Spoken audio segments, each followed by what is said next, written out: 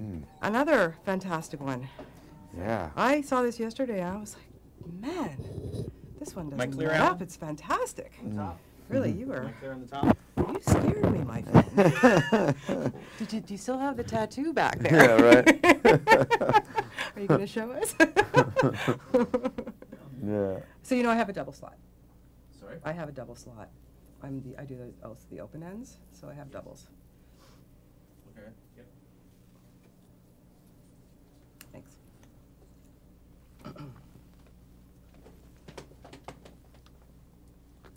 Cool artwork. Mm-hmm.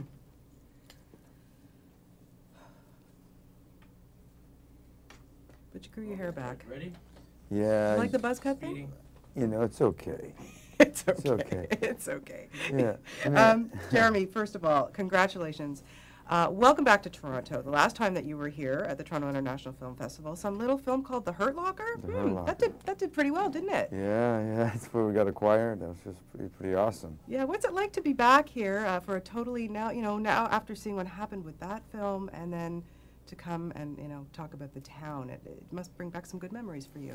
Um, yeah, blurry ones at that. You know, it's a, it's a whirlwind, and uh, you know, happy to be back supporting a, a movie I'm pretty proud of. You know, it's I feel pretty lucky. Yeah, this movie is, uh, I mean, it just doesn't let up. It's so fantastic. And I, I wanted to know, first of all, when, uh, you know, Ben approached you, or is that how, how it happened, or had you heard about it in audition? Tell me about the process for you. Yeah, I, was, I, remember, I remember getting the script and then um, was reading it and liking it a lot. Thought it was a world that was pretty interesting, where um, bank robbing is an occupation, which was an interesting idea. And um, then the character was pretty explosive. I thought it could be interesting to find what makes that guy tick. And I met Ben, um, kind of went over some of the stuff with him. And, um, you know, the guy, the guy couldn't be more likable or um, or smart, and so I, I I couldn't wait to go go swing for the fences for him. Yeah, and the guy that you play, Jem, Jem, Jim, it's hard to... Jim, Jem, Jim yeah. or Jim, I Yeah. guess it's the same thing apparently. I don't know. um, he's a tough cookie. He is a tough cookie. I mean, he's, you know, he, he's been brought up, he's, bank robbing is his life. Mm. And if it has to get worse, he'll do what he has to, to, you know, to make his cut. And, uh, you know, how do you get into the mindset of a guy like that? Where do you go? I- well, you know, between um, I mean, every I have to approach everything a little bit differently because they're all specific in their own circumstances, and this is a, a he's a product of his environment, so I had to really understand the environment, you know, the accent and the thing, it all kind of mushes together the attitude that comes with that accent and where the you know them being a product of their environment. Um, and then more importantly, just on a human level, to figure out why, wh- what fuels that individual.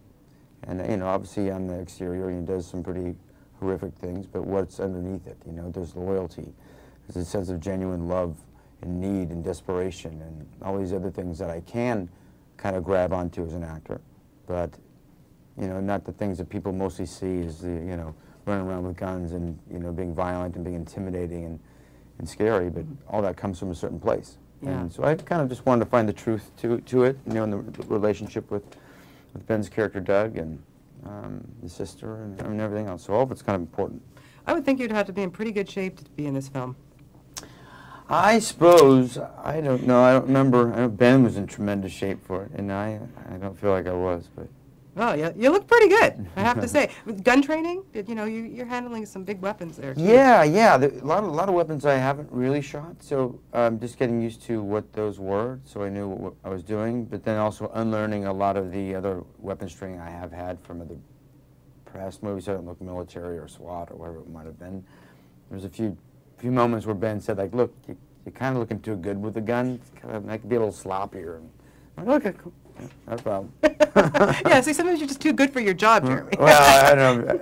It's fun. I love I love weapons. Yeah. I think they're Uh, great. work, okay, now let's talk about Ben Affleck because, man, this guy has proven himself now again. He is one hell of a director. He really is Yeah. fantastic. But tell me a little bit about, you know, here he is. He's acting in, you know, almost every scene with you guys. Mm-hmm. He's got the directing thing on his shoulder and the producing thing, and he's written part of it. I mean, how the heck does he keep it all together? I don't know. You know, he has um, a tolerance for things. I don't know. He, he's he's um, well prepared, smart.